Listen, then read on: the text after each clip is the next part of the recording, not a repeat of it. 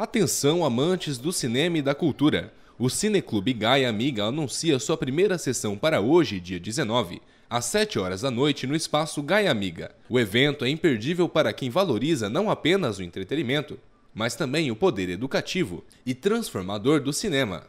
Sob o apoio da Lei Paulo Gustavo, essa iniciativa promete ser um marco na agenda cultural da comunidade local, como explica a professora Eleonice de Moura. Olá, pessoas! Todos estão convidados né, para logo mais às 19 horas. É, estaremos fazendo a nossa primeira exibição do Cineclube.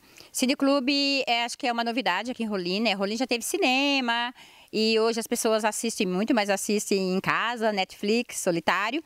E o nosso objetivo com esse projeto é trazer as pessoas para o coletivo, né? Para vir assistir, partilhar, conversar, comer uma pipoca, ver pessoas né? E esse é um projeto que a gente tem que dar os créditos, né, pelo Ministério da Cultura, que lançou a Lei Paulo Gustavo, a, a, o Departamento de Cultura, que é, fez todo o procedimento e esse recurso veio para a gente comprar os equipamentos, né? Então, nós compramos caixa de som, projetor, telão.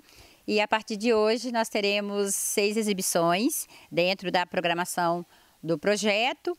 É, hoje vai ser uma sessão de entretenimento, de comédia, de risadas, e depois a gente vai afunilando para as questões mais temáticas, né? Vamos fazer uma sobre meio ambiente, sobre questão de gênero e sobre a questão dos resíduos sólidos.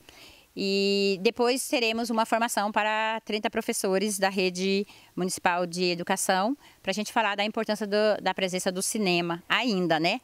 Que é essa sétima arte que está tão assim solitária e a gente quer que ela seja uma, uma atividade mais no coletivo, mais de grupo, mais de pessoas em contato com pessoas.